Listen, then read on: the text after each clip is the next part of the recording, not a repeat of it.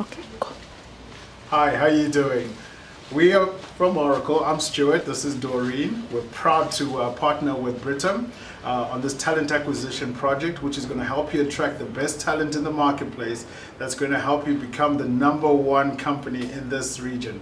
So super proud. We've brought you some cloud technologies. Look out for it. It's going to come through from your HR department. You'll hear a little bit more about how you can help become the employee brand of choice in the whole of East Africa. Doreen. Yeah, definitely looking forward to working with Britam. Uh, this is a great partnership between Britam and Oracle. Uh, we're looking forward to seeing Britam at the top in employee referrals. Mm.